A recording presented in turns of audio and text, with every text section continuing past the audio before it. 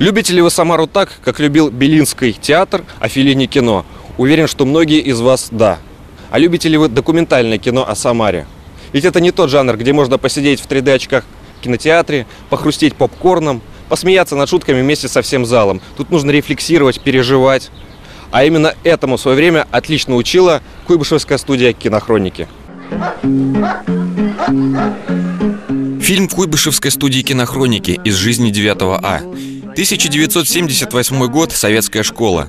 Одна из учениц класса, спортсменка-комсомолка, увлекается медициной, хочет стать врачом. Своим одноклассникам она предлагает во время каникул поработать добровольцами в больнице, поухаживать за пациентами. Почему вы молчите? Вас пугасли санитары.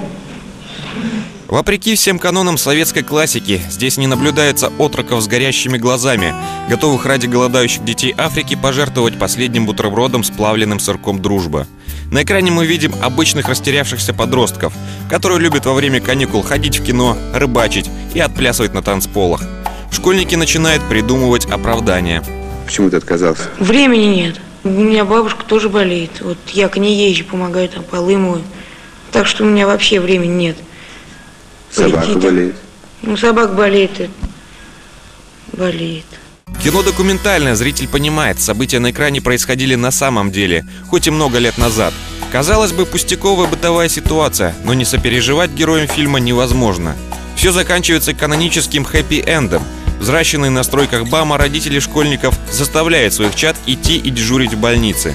Понятно, современные мамы и папы станут грудью на защиту отпрысков. Какое добровольчество, наши кровинушки достойны большего.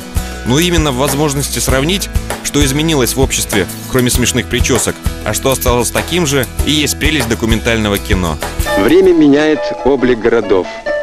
Но в каждом из них есть места, которые навсегда остаются живыми островками истории. Фильмы Куйбышевской студии кинохроники дают нам отличную возможность вспомнить и ужаснуться. Жуткие и уникальные кадры, голод 1927 года. Тогда и начала работать студия. И с тех пор ни одно значимое событие не ускользнуло от объективов ее камер. Строительство Куйбышевской ГЭС, затем ВАЗа, советские пятилетки. Специалисты студии показывают жизнь страны через надежды, мечты и достижения простых тружеников. Тогда слово «труженик» не вызывало ироничной улыбки. Агроном отделения Борис Николаевич Трофимов болел за честь бригады и постоянно находился при ней в поле. Бригадир Шура Жигулина на тракторе четвертый год. Валентина Цибизова тоже опытная трактористка. А вот Люда Воронько только что окончила совхозные курсы механизаторов и на посевную выходит впервые. Когда смотришь документальное кино о жизни в СССР, начинаешь сравнивать, как было и как стало. На этих кадрах сразу бросается в глаза, как мало автомобилей на улицах Куйбышева. А подготовка будущих водителей была в разы жестче, чем сегодня. Это видно из фильма «Учить управлять автомобилем» 1977 года. Группа, встать! Смирно! Товарищ преподаватель, группа 1.43 к занятиям готова. Сверхсовременные электронные пульты установлены на каждой парте. Это ли не достижение научно-технического прогресса? Курсант Егоров, зажглась ли лампочка на вашем пульте? Нет.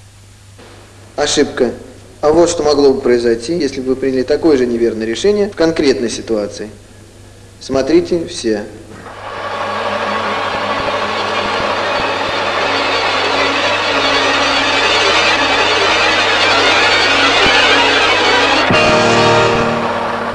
Такая ошибка может оказаться для безграмотного водителя последней. Эти кадры вызвали в нас жгучее желание съездить на автодром и узнать, насколько продвинулся прогресс с 1977 года. Здесь правит балом система ГЛОНАСС. О всех действиях водителя диспетчеры узнают через космос. На мониторе компьютера с точностью до сантиметра отображаются все перемещения курсанта. А здесь, на этом мониторе, можно видеть, какие ошибки он совершил. Причем есть такая иконка специальная. Нажав ее, можно отключить любой двигатель любой машины на автодроме. Это изменилось, да. Как тут не сказать, устарели вы, кинодокументалисты. Ваша черно-белая картинка не вызывает у нас никаких ассоциаций с современностью. Но вот Самарский драмтеатр. Он все тот же, что и был несколько десятилетий назад. Когда-то билет сюда считался роскошным подарком. Говорят, им можно было дать взятку чиновнику, и вполне хватало.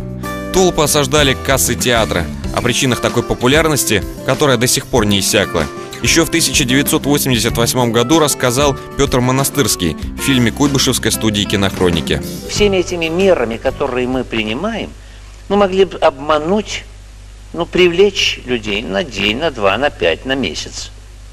Но когда дело длится уже около двух десятилетий, то это уже не обман. Значит, люди хотят быть на спектакле. Они, следовательно, от спектакля ждут какого-то с ними душевного диалога. Театры и поля колхозов, заводские цеха и стройки, работники Куйбышевской студии кинохроники побывали везде. Они вели кинолетопись Самарской, Нижегородской, Ульяновской, Пензенской и других областей. Арт-кино, документалистика, научно-познавательные фильмы. Специализация самая широкая. Была и, как это сейчас называется, социальная реклама. История рассеянного клоуна во время выступления вспомнившего, что дома не выключен утюг, наверняка действовала на граждан в то время эффективней, чем современные шокирующие ролики. Вы не забыли включенный электроприбор? Никогда не забывайте выключать электроприборы! Слышите? В этом году студии исполнилось 85 лет. Режиссеры и редакторы, звукооператоры и драматурги продолжают свою работу. Компьютерной графикой и спецэффектами здесь не возьмешь. Зритель должен верить в то, что видит на экране, и помнить, какие люди жили на нашей земле. Поэтому самарской студии кинохроники придется выкладываться на все сто. Впрочем, по-другому они и не умеют.